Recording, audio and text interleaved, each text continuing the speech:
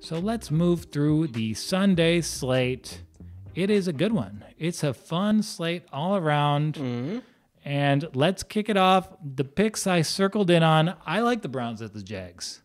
Yeah, yeah. Uh, It's this is a vacation game for for Cleveland. Uh, they get to play in some heat instead of rainy Cleveland for the last three weeks. Um, everyone is playing inspired football, and uh, yeah, I think they they just kind of roll. They, they they watch what the Steelers did and just like, okay, let's we can do that better, and let's roll. Yeah, so the Browns actually, I like them in this game. There's no Myles Garrett, but they need this win. Right. And I that's a great point too because it shows like okay, we can win this game without Myles. We of course, yes, we want Myles out there, but if we have a confidence in that young D line that they can do it, gosh darn it, they're going to do it. I'll tell you what. Yeah, and they're seven and three. Their next two games are against the Titans and Ravens. Their biggest competition for those seventh or maybe eighth wild card spots. Who knows? Yeah. All I know is that wild card round is going to be awesome. Yeah. Yeah, no, and you- they, this is a very needed game just so um, they can get ahead possibly with the if the Ravens lose to you know the Steelers, like hey, wait, that's a leg up. You know, I, I- we kind of need that.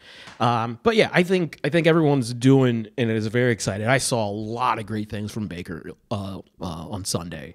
Um, he's using that booklet right. He he's he's doing things with his hands. He's uh, having rap lyrics in his press conferences. He is feeling it. And this is exactly what you want from Baker. You want him playing good, but not good enough to justify a $35 million a year contract. I yeah, I know. What's the number? What do you want Baker to Oh. get? Um, I'm gonna give him like four years, ninety. I was going to say 488. Yeah. So we're right there. Yeah, yeah. That's his value. And like just by virtue of you playing quarterback, it can't be, you can't just automatically get 30 million. Some of you guys, you're above average starters. Baker Mayfield with Stefanski, above average starter. above average starter, and that's fine. And uh, give him, you know, give him his due for uh, going through multiple coordinators and coaches, and finally finding that way to gel. Not throwing interceptions. He almost threw a couple interceptions at the beginning of that game, but hey, you know, everyone's got the. You got to just throw it out. You just got to throw it out there. Carson doesn't know how to throw, but that's you know. That's yeah, it's- it's a big spread. I mean, six and a half on the road is a lot to cover. It's a lot. It's a lot. And if they just control with the running game, uh, because they like, if this is how they're doing it, if if Kevin this is how is how he, what I saw, it was first first quarter, uh, third quarter was Kareem Hunt's, and then you have you have Nick Chubb and just getting the bulk of the carries in that uh, the second quarter and the fourth, and you're just doing this LeBron uh, with Nick Chubb just closing it out. If this is right, you get everyone involved and getting great carries. So then you're just going to get another 100 rushing from both of those guys. Yeah, and I think you might see him open it up in terms because you they have Tennessee the next week. Mm-hmm. So I think if they play more vertical and downfield, Yeah. if they look like an attacking offense, that's gonna throw Tennessee off their scent a little bit. Yeah. Yeah, and that's what uh, Baker and Kevin did on Sunday. They were throwing. I mean, it was raining the whole time, but they still kept throwing the ball down the field. And you do that, and you're like, oh, "Okay, shit, we can't. we got those guys. We got to cover those guys. Someone's open." So keep it up, and you know, getting that tight end.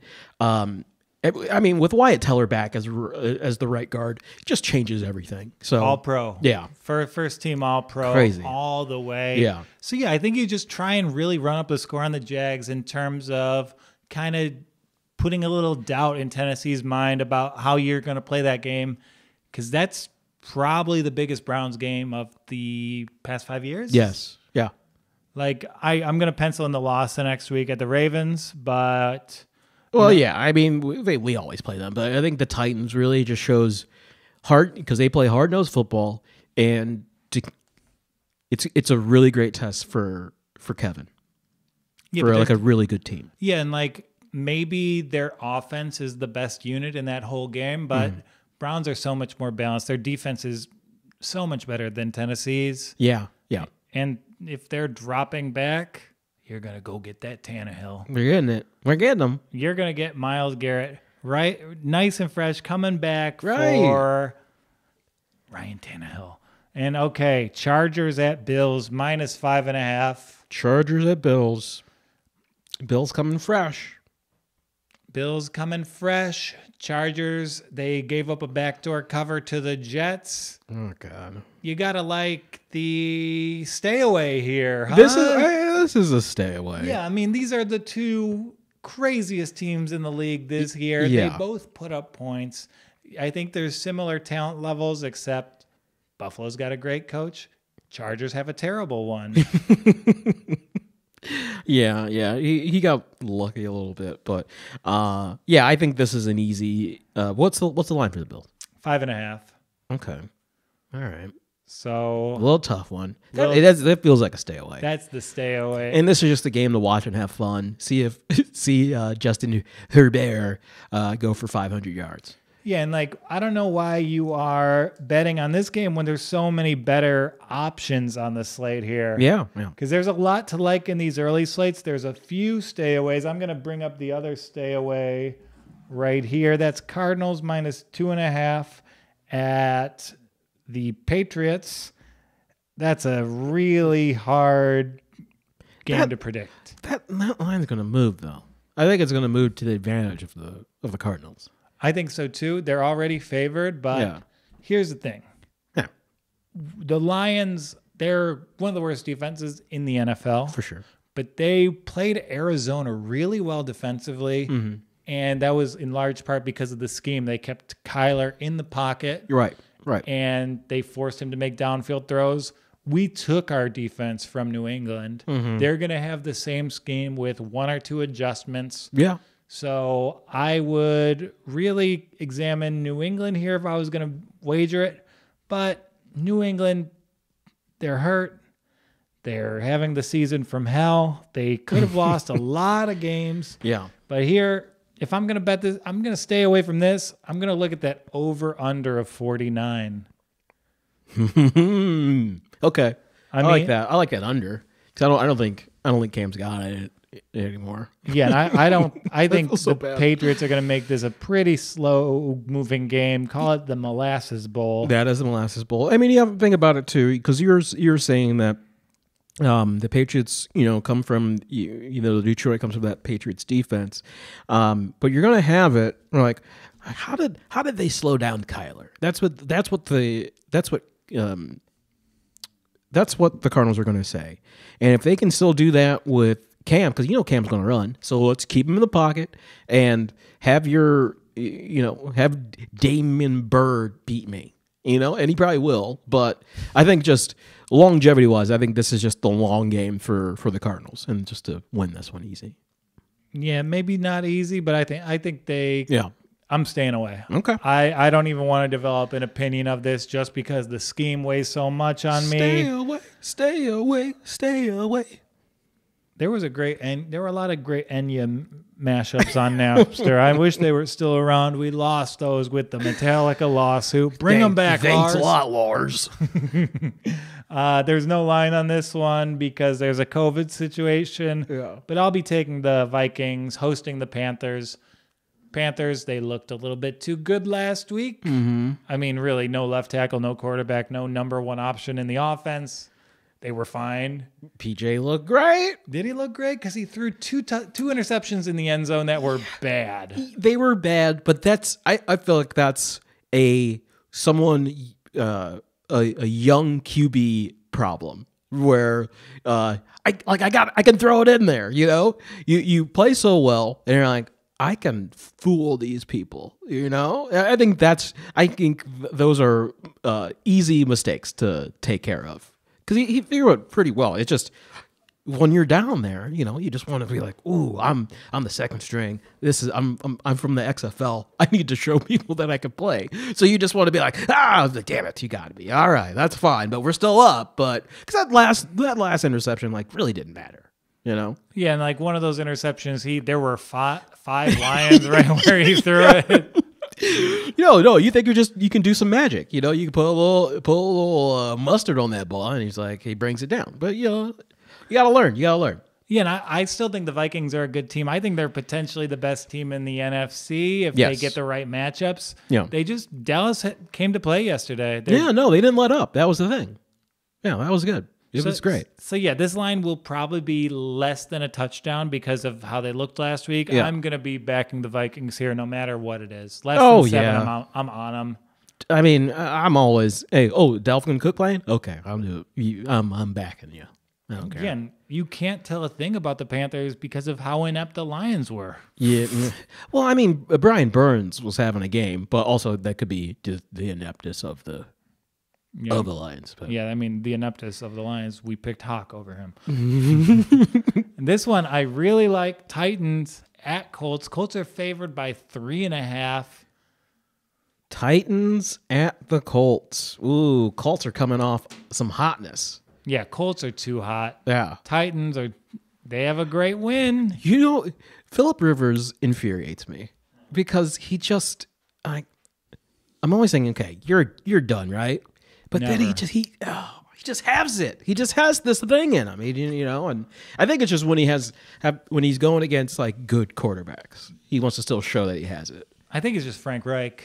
Frank, He- he- yeah. well, Frank's amazing. You Frank man. draws up the right plays for Yeah. him. He, it's a different team. yeah, But these guys just saw each other in that game. Tennessee was in pretty firm control of it till we they got a couple blocked punts. yeah, yeah. till things got a little wonky in the second half. And these teams, they know how hard the AFC wildcard race is. Yeah, yeah. They're gonna this is gonna be very close. If it's more than a field goal line, I'm gonna take the Titans getting that half. Yeah, they always are very squeaky about that about that field goal. Uh, that's going to be an easy one. This is the, the rule of three and a half. I will say I'm breaking Mm-hmm. it, but yes, you are. You know, you know better. You know you can't do that three point five.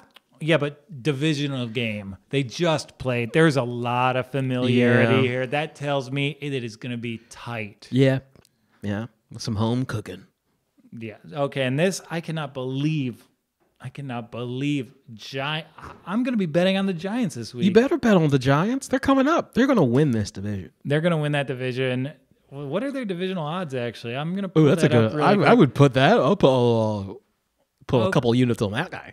Yeah, we. That's that's definitely sprinkle worthy. Actually. Okay, Giants plus three twenty five to win that division, and I don't know if they win this against the Bengals this weekend, and they will win against the Bengals, They right? should.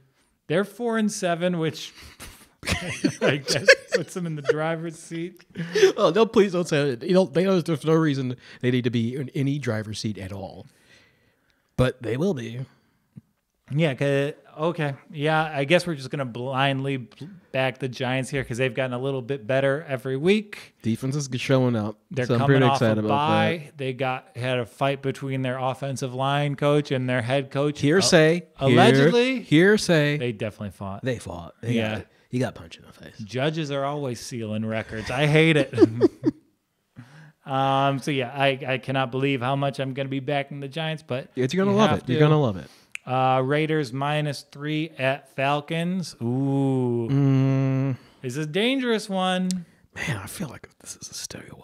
But This is a sk- or is it maybe you want to back the Falcons here? How, mm, yeah. Ooh, man, this is a tough one because the Raiders, you know, they they hung in there, but they, they just got Patrick Mahomes, so there's really you know nothing wrong with that. Yeah, and like people aren't excited about the Chiefs because the Chiefs just know they can beat you. I think It's e- so garbage. The, the the Chiefs are easy to beat. I know it. They all. Someone just needs to stand uh, from defense perspective for for Patrick Mahomes. Just someone stand in in center field because he wants to throw it in the middle. That's he loves to do that. So if you throw that situation off, so that's how your deep throw. That's where that's where Kelce's going to be, and let him just dump it off. Great. I think you, you I think you just make them do these little chunk plays, you know, these little dink and dunks, then it just take the deep ball away from But him. their their offensive scheme is so good because they're running everything outside. Either know. all their runs are off tackle. Mahomes is always rolling out. There's a fluidity with that offense. It's hard to beat. And like Eli was talking about last Wednesday about the Clemson team from a few years ago that won every game by three or four points. Like the Chiefs are looking at that clock the whole time. I know. I mean, just put a spy on this guy. Put a middle linebacker that's in the middle and like go beat me somewhere else. Like I don't care. Yeah, they don't care about the cover. They don't care about running up the score at all.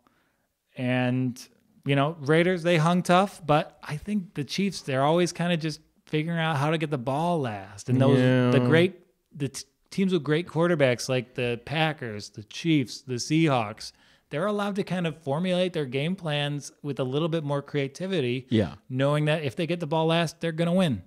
So easy. Yeah, so I don't know how we got on that tangent, but um, this is our breakdown of the Raiders and Falcons. Um, I'm uh, Falcons or what? What do they got? Falcons are crappy. Yeah, yeah. Just like was it a three, seven? Where are we at? The Falcons, they are. Thanks, Google. Thanks Google a lot, Sports. Google. But I think they. Falcons are three and seven, but Okay. it's a Raheem Morris has been actually kind of decent, and they looked worse than anticipated against the Saints last week because what ta- putting in Taysom does is there's no book on how it's going to look. Yeah, yeah. But just so oh, nine points, two interceptions by Matt. I mm. Oh, oh, nice, Todd Gurley. Let's go eight for twenty six. Okay, that's reputable. Okay, so yeah, I'm definitely be be afraid if you're the Raiders here. This is the game where you fuck this up, you're out of the playoff hunt. They ran over the Saints ran over the Falcons, 150 yards by like three other people. Uh, that's that's not good. That's not good. It's not good. Next one, Niners at Rams. We didn't learn anything. We're recording Monday. We haven't seen the Rams. Yeah. Uh, we have not seen the Niners this week. I don't care about the Niners, man. I don't care about the Niners. I mean, hey, they're hey, great, love them, but not this year. So it's one of those Rams. That's a rollover. Yes, divisional game, but I think that I think the Rams roll. Yeah. So if the Rams, I'm inclined to bet on them here if they lose tonight. I think they will lose tonight against Tampa Bay. Yeah, No left tackle going against a decent pass rush. Right. Uh, if you throw Goff off a little bit, you throw Goff off a lot. true, true. So yeah, I think the Rams with the bounce back here is the play I would go. We covered Cardinals, Patriots, Saints minus four and a half at the Broncos. I like the Saints here. Yeah, they the Saints are in mid-season form, as you would say, uh, and I think they're they're just going to keep on going. They know they they. It's not. They didn't. They're not losing a step with Drew Brees. Yes, he can throw the ball, great, but it's it's not like a big drop off. Is there a chance we never see Drew Brees again? I mean, all of his bones are broken. right? Eleven broken ribs, Yeah. So and we're expecting this guy to be fully healed in six weeks for a postseason game. no, and my man had a collapsed lung. That's not. That's not easy. Yeah, that's maybe a three week recovery if you're a 22 year old guy. but Drew Brees, you're on the north side of 40. If they re- and the thing is, they're they, they're gonna have to make the choice between doing what's best for their franchise or doing what's best for Drew. They've shown an inability to make the right choice in those situations. Yeah. And do you really feel confident if you roll out Drew and he takes one hit? No.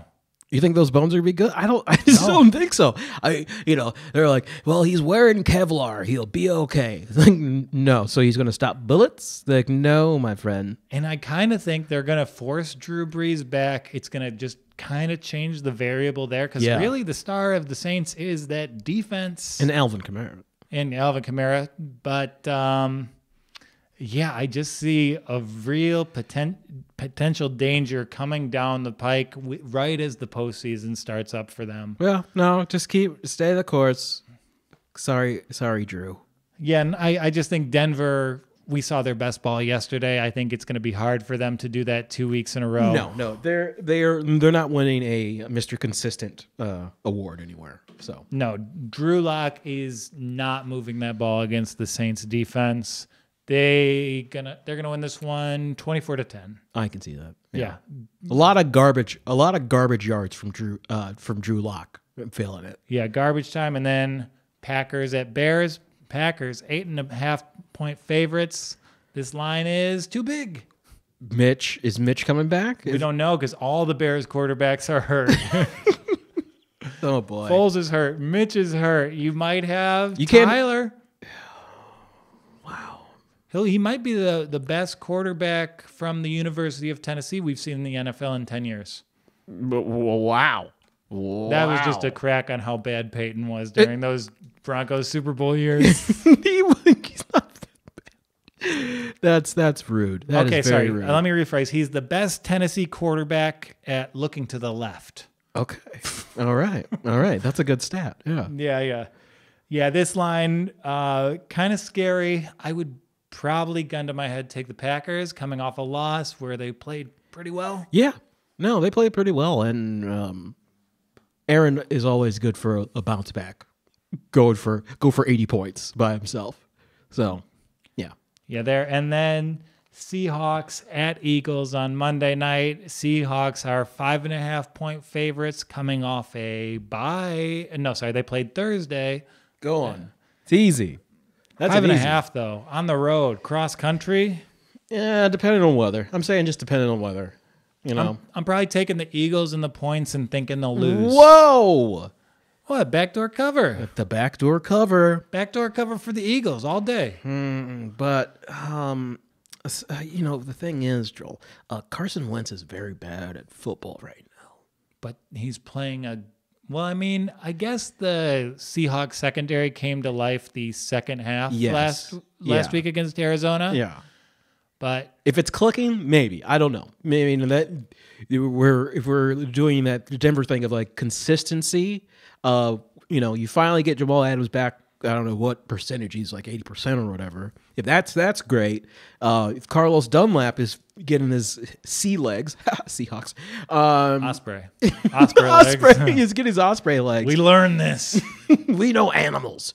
Um, then I think you got a fun Fe- Seahawks defense because I think that's what they want. They want to see their defense finally click back to back, and if that happens, watch out, watch out, world, because the Seahawks are back.